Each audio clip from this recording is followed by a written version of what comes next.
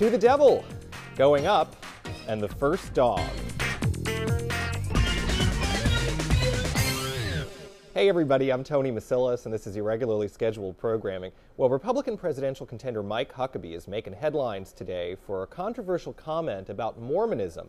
In the upcoming issue of the Sunday New York Times Magazine, Huckabee asked the question Don't Mormons believe Jesus and the devil are brothers? He then goes on to say that he really doesn't want to discuss theology or question anybody's faith. Well, too late.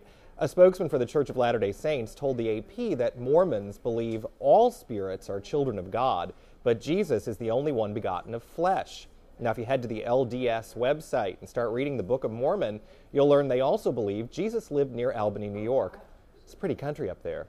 As for Huckabee, his devil wears a blue dress.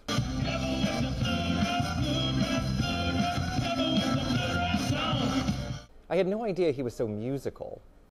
Shirley MacLaine was right. It's an intergalactic battle with cosmic spiders.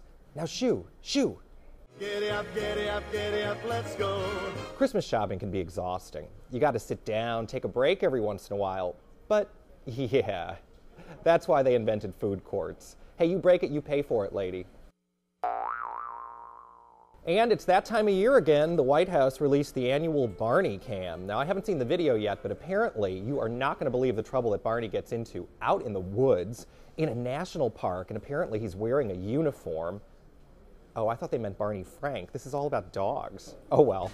Well, that's all for today. Check out the blog at cbsnews.com/isp and get back to work.